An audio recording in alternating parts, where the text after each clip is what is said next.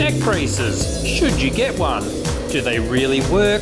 How much do they reduce neck injuries? And which particular injuries? There are no black and white answers, but this video might help you to decide. The age old question, of course, with any protective gear how much of it do you want to wear? So, first you need to look at your type of riding, skill level, how often you like to run into trees or hit the ground, and at what speed. With neck braces, it looks as though speed could be a big factor. Neck braces are way more common in desert racing and motocross compared to enduro riding. One study showed 10% of injuries in motocross are neck and upper spine fractures, whereas a study of enduro racers found no spinal fractures at all, just mild strains, which only accounted for 5% of total injuries. Now, that's actual enduro races, so us Muppets, us slower everyday riders, will probably have even less spinal injuries.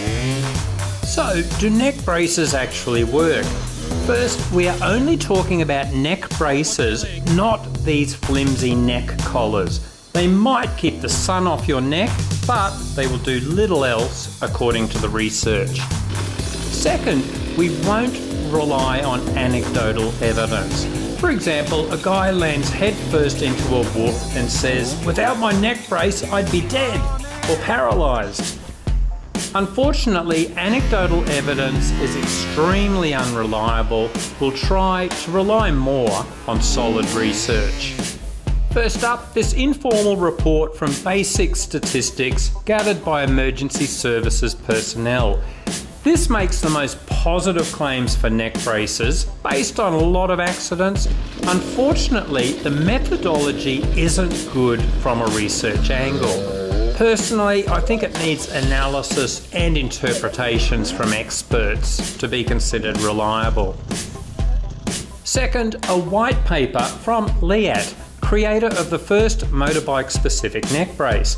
Methodology is much better in this study, but of course, it's by Leatt. There's the potential for so much bias here. Not surprisingly, the report found Leatt neck braces do work in preventing or reducing injury. Look, it would be good to see this paper published in a peer reviewed journal. It would give it the stamp of approval from independent resources, but no luck there so far. It's also very interesting to note that Chervis did a study on neck braces but never released it. Hmm, I wonder why. Next, this properly independent study said the results were unclear and they felt the test crash dummy being used in all tests so far needs to be replaced with a better model to really prove whether neck braces work or not. Another independent study showed neck braces had a moderate effect but only if the gap between the helmet and the neck brace was less than 5 centimetres. And finally, this French study. It tested the Leatt and EVS neck braces along with one of those useless foam collars. It found no significant effect with all three, but they did note they only tested at one specific impact and one angle of orientation and more research would be needed. They also commented that the gap between the helmet and neck brace could be an important consideration. So that's some of the research. Confused? I am. Unfortunately, there isn't a lot of money available for high quality research with big sample groups and high tech crash test dummies. So let's look at the pros and cons.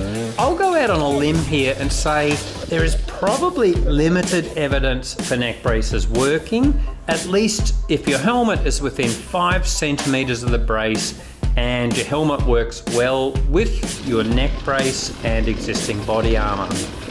And anecdotal evidence suggests the faster you ride, the more likely you are to have a neck injury. So, what are the drawbacks? Some riders hate the restricted movement, others don't notice it after the first hour. Some riders say they simply find neck braces too uncomfortable, others say they barely notice it. If you ride in hot weather, you will probably notice a bit less airflow. And of course, there is the extra weight. Do neck braces break collarbones?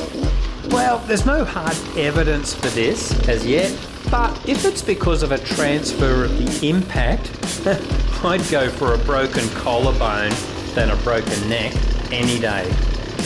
There are online discussions about neck braces causing other types of injuries, but there just doesn't seem to be any evidence to back up these claims. So there you have it, guys. Should you get a neck brace? well, it's all clear as mud. With a bit of luck, we might see some decent independent research with high tech crash test dummies, great methodology, and all specifically applied to various types of dirt riding. But don't hold your breath. In the meantime, do your own research, see if it's worth handing over your hard earned cash. And remember to check out our other protective gear vids too.